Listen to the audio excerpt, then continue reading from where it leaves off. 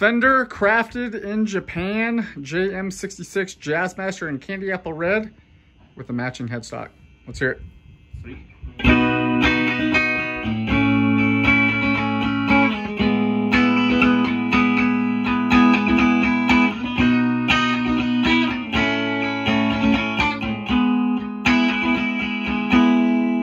Alright, that was the, the bridge pickup. Let's go middle. Okay.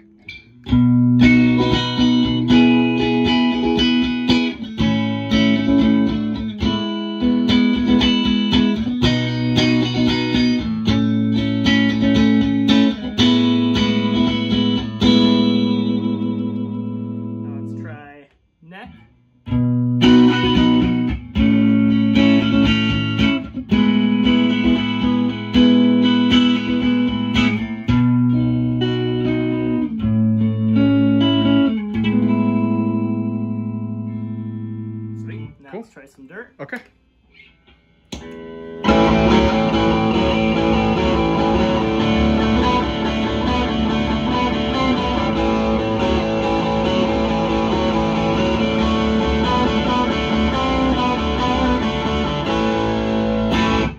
So that was bridge position. Now we'll do the same thing. We'll do it in the middle.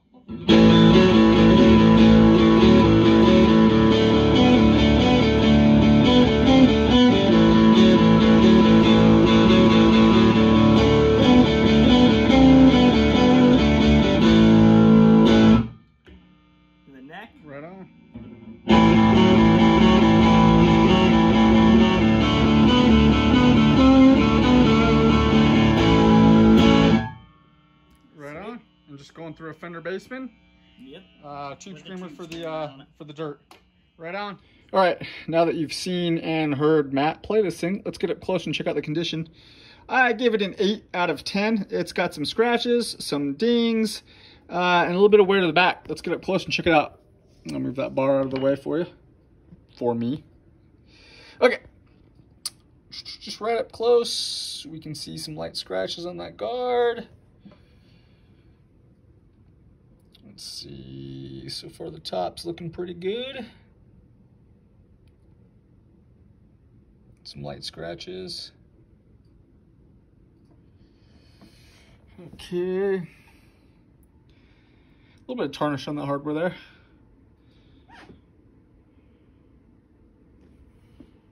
Okay.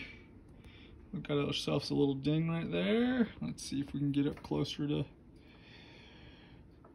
so that's what it'll look like if you're if you're looking at it. You can kind of see that it's there but then if you this is how we do it. We shine that in and out of the light to get it to let's see if we can focus. There we go. That's the shot. There you have it. There's the ding. And scrolling down through. Uh, let's check for uh, neck pockets looks good. No no cracks or finish checking. Happens quite a bit when uh on fenders or any bolt-on neck to be honest just from tightening the neck too much. This one does not have that though. Frets look good. Rosewood fingerboard looks great.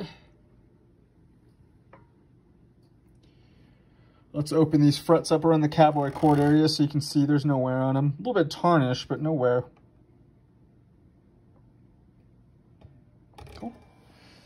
There you have your matching headstock. And let's see the back. Back the headstock looks good. No breaks. None of that weird weirdness. You'd have to try pretty hard to break this headstock, but I mean, you could do it. This one is clean though. Back of the neck looks good.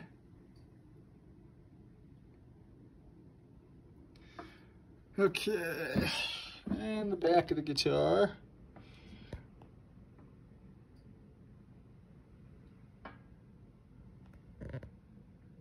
You can see the reflection of my workbench. One of my workbenches. Okay, so here we got a little bit of wear on the back. Let me see if I can get that to, to pop up a little bit better. Yeah, come on.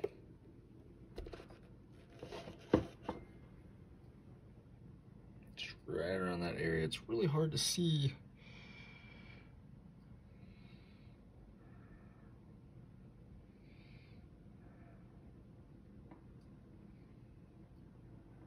Okay, let's see if we can get down there a little bit more. There's another small ding. Little ding up there. This is the majority of the the wear. This is why I gave it an eight, not like an eight five. It's got a little ding on there. Well, it's actually a pretty large one. But uh, yeah, it's not so bad. Let's see. You can kind of see. Alrighty, there's that one.